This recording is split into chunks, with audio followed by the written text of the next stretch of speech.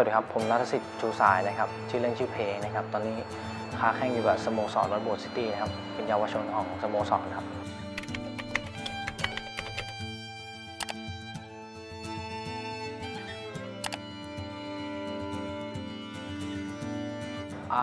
ที่ผมเริ่มเล่นบอลเนี่ยผมเล่นตั้งแต่ เท่าที่จำความได้ตอนป .3 ครับ เป็นบอลโรงเรียนครับแบบเตะกับเด็กเนี่ยเตะกับเพื่อนเล่นทั่วไปครับ ตอนเย็นเลิกเรียนก็เตะเล่นเตะลูกบอลพลาสติกนะครับ สนุกสนุกผมก็เตะไปเรื่อยๆรู้สึกว่าผมชอบผมชอบฟุตบอลทางนี้ เลยพ่อก็เห็นแววก็เลยเอาไปเข้า academy ตอนนั้น academy แถวแถวบ้านครับ แต่ก็ไม่ได้ดังอะไรมากครับ academy แถวบ้านก็ไปเข้าไปซ้อม ซ้อมได้ระยะหนึ่งก็เริ่มแบบ มีเทคนิค basic อะไรอย่างนี้ครับ แล้วก็ได้ไปคัดตัวฟุตซอล ตอนแรกเริ่มเล่นจากฟุตซอลก่อนฟุตซอลโรงเรียนจ่าการบุญ เพราะจ่าการบุญเขาไม่มีสนามฟุตบอลเลยเล่นฟุตซอลครับ5คน ก็เล่นมาเรื่อยๆครับ เลยมี step ฟุตซอลนิดนึงครับ ก็ไล่เก็บเข้าร่วมแข่งขันฟุตบอลนักเรียนนักศึกษาสหกรณ์ออมทรัพย์ครูอะไรเกี่ยวกับฟุตซอลนี่ครับ ในจังหวัดส่วนมากก็เก็บเป็นแชมป์รองแชมป์บ้างครับ ครับผมประมาณนี้ครับ เล่นมาถึงป .6 ครับฟุตซอล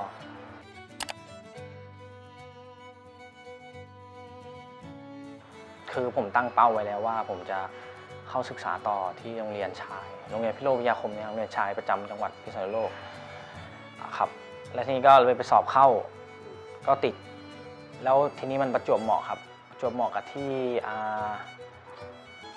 ผมเข้าไปตรงกับรุ่นเดียวกับอ่า ลูกโค้ชโค้ชโค้ชที่เป็น academy พิษณุโลกเอครับครับพอเดีเข้าไปปุ๊บเขาเลยเขาเลยเข้าไปทำทีมที่โรงเรียนใช่ครับ พ่อของคนนั้นนะครับปุ๊บนี่ทำทีมเสร็จปุ๊บผมก็เลยไปคัดเพราะโรงเรียนใหญ่ใช่ไหมโรงเรียนมันใหญ่โรงเรียนพิษณุโลกพิทยาคมมีสนามฟุตบอลใช่ครับ ผมก็ไปคัดแล้วนี่ก็ไปคัดติดติด เพราะเป็นรุ่นเดียวกับโค้ชจอร์ดนะครับโค้ชจอร์ดทีนี้คัดติดปุ๊บผมก็เห็นแววเลยเอาเข้ามาซ้อมเรื่อยๆนะครับ ซ้อมกับ academy academy พิโร FA ซ้อมกับโรงเรียน ซ้อมบอล11บอล7ซ้อมหมดเลยครับตอนนั้น ซ้อมยากจริง ตอนนี้เริ่มเข้ามาเป็นฟุตบอลแล้วครับ เข้าเรื่องของ part ฟุตบอลแล้วฟุตซอลไม่ได้เล่นแล้ว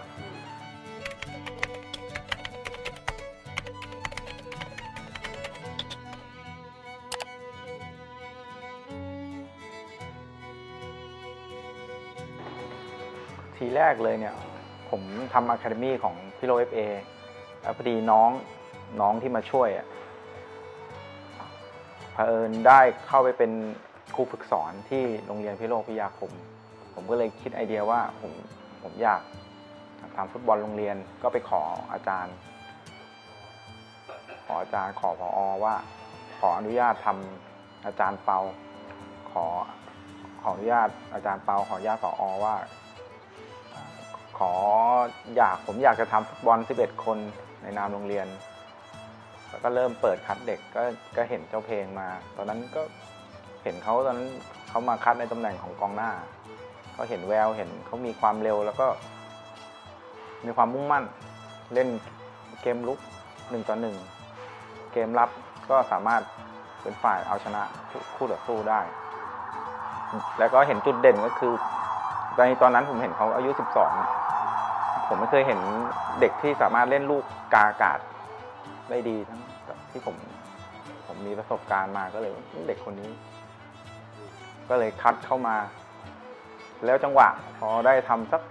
3-4เดือนนะครับกกทก็มี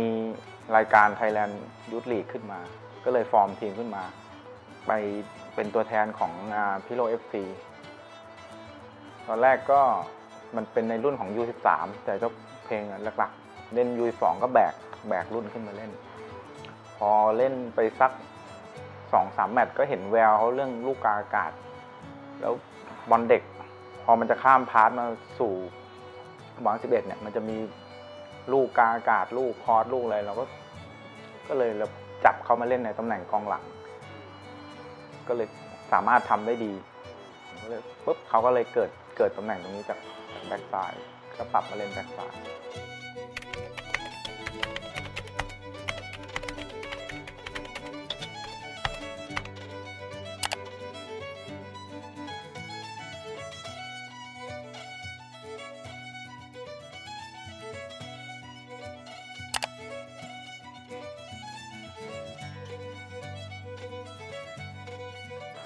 อ่ามหนึ่งมันมอต้นครับมอต้น มอต้นก็เข้าไปทีมโรงเรียน ก็จะมีนิสิตนักศึกษาเข้ามาทำทีมโรงเรียนครูที่โรงเรียนทำบ้าง แต่ก็ส่งในนามโรงเรียนโค้ชจอเข้าไปช่วยบ้าง ก็มีรายการนี่ครับเหมือนเดิมบบอลนักเรียนบอลอบจบอลในพิโลกเนี่ยครับบอลที่เขาคัดกัน แต่ว่าเวลาเล่นเสร็จก็ไม่ได้ไปต่อที่ไหน ก็เป็นแชมป์พิโลกแค่นั้นครับเล่นประมาณนี้แล้วก็รู้สึกว่าบอลเด็ก มันยากมันไม่ยากมากตอนนั้นแบบทุกคนมาช่วยเล่นมีแรงก็วิ่งไล่ใช่ไหมแต่ก่อนหน้านี้ผมเคยไปเล่นข้ามรุ่นมาก่อน สักแป๊บหนึ่งสักสองรายการผมก็เลยตอนนั้น 13 ผมไปเล่นอายุ 15 แล้วทีนี้กลับมาเล่นกับ13ก็ดีมันเลยดูแบบอ๋อง่ายขึ้นไม่ค่อยกดดันเริ่มแบบมีประสบการณ์ครับ ช่วงเวลาอายุถึง 13ถึง15เนี่ยผมเล่นยูทลีกยูทลีกอะ ทีมพิษณุโลกยูลีกคือเยาวชนเนี่ยยูลีก13ถึง15 ใช่ เล่นมาตั้งแต่ 13 แล้วก็มา 15 เล่น 2 ปี ทีนี้ก็เล่นมาเรื่อยๆ ตอนนั้นเล่นตำแหน่งหลังครับ หลังแบ็กซ้ายไม่ได้เล่นหน้านะครับ มีน้อยที่ได้เล่นหน้าครับ เล่นแบ็กซ้าย ทีนี้ก็ไปเข้าตา เข้าตาที่ผมไปแข่งรายการนี่แหละลีกเข้าตาที่โค้ชที่ปทุมคงคาโค้ชการท่าเรือ เขาเลยเอาผมไปเล่นใช่ไหมเขาไปเล่นปุ๊บทีนี้ไปเล่นรายการ ASEAN Dream ครับ ASEAN Dream ใช่ครับแล้วจับพลัดจับผลูเลยได้ไปเป็นตัวแทนไปญี่ปุ่นสองคนใช่ครับมันก็เริ่มดังขึ้นมาเรื่อยผมก็เริ่มเป็นที่รู้จัก อันนี้กลับมากลับมาตอนนั้นก็เลิกเล่นอ่าไม่เกิดอายุเกิน 15 แล้วไม่ได้เล่น Youth League แล้วครับใช่ครับทีนี้ก็วัดโบสถ์มันเป็นอ่าสโมสรวัดโบสถ์เป็นทีม ท้องถิ่นแถวบ้านนะครับเขาเลยสนใจ เพราะมี connection กันอยู่แล้วครับ academy กับทีมวัดโบสถ์เพราะเขาจะส่งเด็กขึ้นไปเรื่อยๆอยู่แล้วครับก่อนหน้าผมก็มีมีมีมีเพื่อนผมอีกคนนึงได้ขึ้นไปก่อน คนสองคนครับ ทีนี้เขาก็ดึงผมขึ้นไปด้วยไปซ้อมด้วยเรื่อยๆ ก็เนี่ยครับเริ่มเข้าวัดโบสถ์มาตั้งแต่ตอนนั้นครับ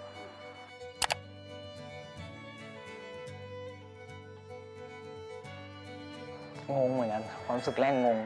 เพราะตอนแรกโค้ชก็บอกว่ามันจะมีการคัดเลือกนะสองคนไปญี่ปุ่น ผมก็อ๋อไม่ได้หรอกโหทีมดังๆทั้งนั้นเลย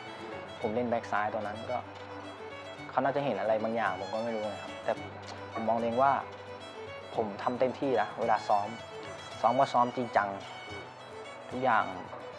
กว่าจะมันสำเร็จมันก็คือมันมีที่มานะครับใช่ไหมกว่าสำเร็จซ้อมตั้งใจซ้อมเวลาแข่งก็เต็มที่ ผมเชื่อว่าถ้ามันพยายามมากพอมันก็สักวันหนึ่งมันก็ต้องสำเร็จอะไรประมาณนี้แต่ผมภูมิใจนั้นภูมิใจในตัวเองครับเพราะเป็นก้าวแรกเลยที่แบบได้ไปเปิดโลกใหม่ที่ต่างประเทศอะไรเงี้ยแต่ญี่ปุ่นตัวตัวไม่ได้ใหญ่มากครับตัวไล่ๆเรียงเนี่ยแต่ basic แน่นแบบสุดยอดแล้วแบบเลี้ยงส่งมงยิงนี่ครบเครื่องครับแล้วก็เรื่องแรงเรื่องการปะทะนี่สุดยอด ผมไปเห็น academy เขานะครับของชุดเล็กเอ่อชุดเยาวชนของคาวาซากินะ สนามซ้อมเยอะครับแบ่งเป็นรุ่นๆเลยครับแล้วก็มียิมให้เข้ามีตารางทุกอย่างครบครับเวลาซ้อมก็ซ้อมเต็มที่เวลากินน้ำแค่แบบแป๊บเดียว แล้วก็กลับมาซ้อมมันแบบกระชับปึ้งปึ้งปึ้งใช้เวลาไม่นาน แค่ประมาณชั่วโมงชั่วโมงครึ่งอะไม่ถึงสองชั่วโมงเสร็จแล้ว แต่แบบคุณภาพล้วนๆนะครับเขามีความเป็นผู้นำสูงเขาเขามีความตั้งใจมุ่งมั่นนะครับ บวกกับถึงกับได้มาอยู่กับโคจอร์ดนะตอนนั้น ด้วยโคจอร์ดเขาเป็นไฟแรงครับกำลังจบบีมาใหม่ๆอะไรเงี้ยมาเจอน้องเข้า ก็เลยประจวบกับโค้ชไฟแรง รวมกับน้องที่มีความมุ่งมั่น มันเลยเคมีตรงกัน มันก็เลยแบบทำให้น้องตั้งใจขึ้นโค้ชสอนเทคนิคแล้วน้องเป็นคนที่น้ำมีเต็มแก้ว น้องเชื่อฟังรับฟัง และสิ่งหนึ่งที่น้องมีในตัวคือความทัศนะเอ่อความมีทัศนคติกับความมุ่งมั่น และก็ความกตัญญูผมอยู่กับน้องก็มาตั้งแต่เด็กเนี่ยก็เลยเชื่อว่าเด็กคนเนี้ย น่าจะมีอนาคตไกลครับ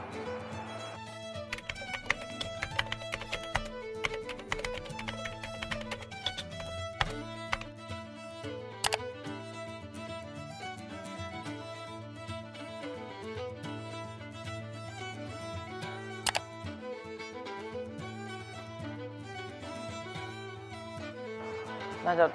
ไม่ใช่มห้ามสี่ครับ ปลายเทอมมสี่ หลังจากกลับมวกเนี่ยนะผมจำได้ เขาก็เรียกเข้าไปซ้อม ตอนนั้นยังเจ็บเจ็บเข่าอยู่ ก็เข้าไปซ้อมเบาๆ ได้ขยับขยับกับพี่ก็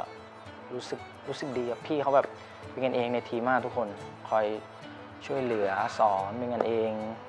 เวลาซ้อมก็แบบ ตอนจริงจังก็จริงจังเล่นก็เฮฮากันไปครับก็เริ่มซ้อมมาเรื่อยๆครับอ่าสักระยะหนึ่งครับผมก็เข้าตาโค้ด พอเล่นได้ เข้ากับทีมได้เทคนิคได้ ทุกอย่างได้เขาก็ส่งชื่อผม ส่งไปเลขแรก ตอนแรกวัดโบทขึ้นไปทีทีสามตอนนั้นมีทีสี่ยังไม่ยุบรวมกันเป็นทีสามครับ ก็ไปเล่นมีรายชื่อไปแมตช์เมืองการแมตช์อ่างทอง มีรายชื่อสองแมตช์ปุ๊บตัดจบตัดเอามารวมกัน ใช่ครับตอนนั้น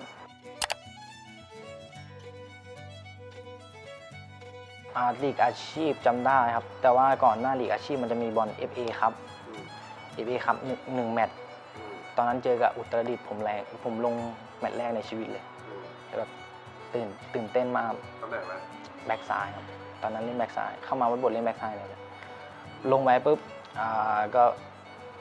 ตามสไตล์บอลผู้ใหญ่นะครับ เป็นเด็กเราลงไปก็แบบงงๆตื่นเต้นแบบตามจังหวะไม่ทันแน่นอนอยู่แล้ว เพราะการแข่งขันจริงมันแข่งขันมันสูงแบบ ทุกคนวิ่งไล่ผมก็เพิ่งสัมผัสแรกแมตช์นั้นผมจำได้น่าจะเสียตรงผมประมาณสองลูก ใช่ครับเสียประมาณสองลูกแล้วก็ทีมก็แพ้ไปตื่นเต้นนะครับ ตื่นเต้นตอนแรกครับ ตอนแรกช่วงแรกๆแต่เวลาลงไปครับเวลาปรับตัวได้ สักสิบยี่สิบสิบห้าที เวลาได้แปรบอลได้สัมผัสกับเกมมันก็จะเริ่มปรับตัวไปเรื่อยๆครับ ก็มีรายชื่อติดลีก แล้วก็มีเปิดลีกตอนทีสามยุบรวมกัน ผมก็ลงแมตช์แรก ลงกับแมตช์ แมตช์แรกเป็นแม่โจ้น่าจะเป็นแม่โจ้ครับ ก็สนุกครับ เล่นกับทีมมัน